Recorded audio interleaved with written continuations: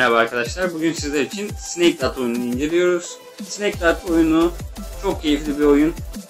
Ama bazen de e, gerçekten can sıkıcı olabiliyor. Bunun sebebi de e, bazı alanları geçemiyorsunuz ve e, geçemedikçe sinir yapabiliyorsunuz. E, hemen Tap to Start yazısına tıklayarak oyuna başlıyoruz.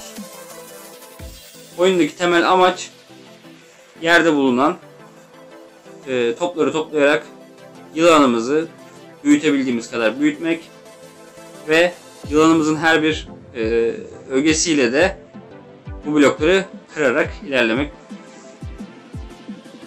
9'luk bir bloğa çarptığımız zaman 9 tane ögemiz gidiyor.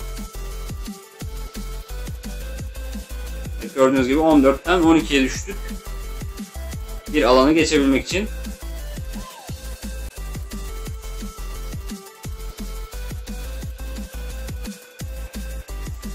Burada birazcık hızlı olmanız lazım çünkü e, daha doğrusu çabuk karar veriyor olabilmeniz lazım çünkü elinizdeki e, yılan uzunluğu çok sınırlı ve bazen gerçekten yetersiz olabiliyor. Bu arada çarptığınız e, her kutu için e, yılandan bir top kaybediyorsunuz. Ve gördüğünüz gibi e, yılanımın uzunluğu yetersiz olduğu için oyunu kaybettim. Ve bunun için bana bir altın verdi. Dilersem bu altını e, video izleyerek ikiye katlayabilirim. Tekrar diyorum.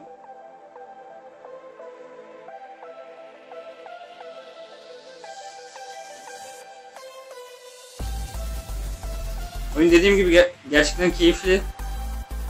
Ama bazen e, stres yapabiliyoruz.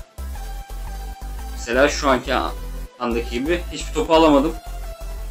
E, yılanımın uzunluğu 11 olmasına rağmen e, 11'lik bir kutuya çarptım ve e, yılanım sıfırlandı ve oyunu kaybettim.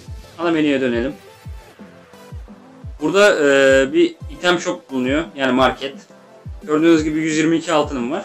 Bir yılanımın görüntüsünü değiştirebiliyorum. Evet.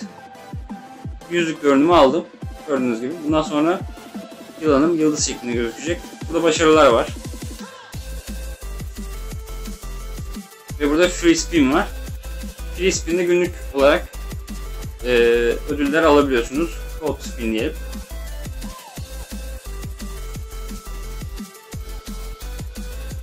Evet 100 altın çıktı şansımıza.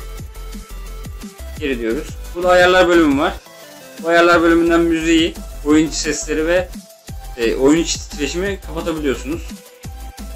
Ancak e, oyundan ana menü tuşuna basarak çıkıp tekrar oyuna geri döndüğünüz zaman e, sistem bazen e, içinde bulunan bir bug'dan dolayı buradaki e, ögeleri dikkate almayarak sesi tekrar açabiliyor.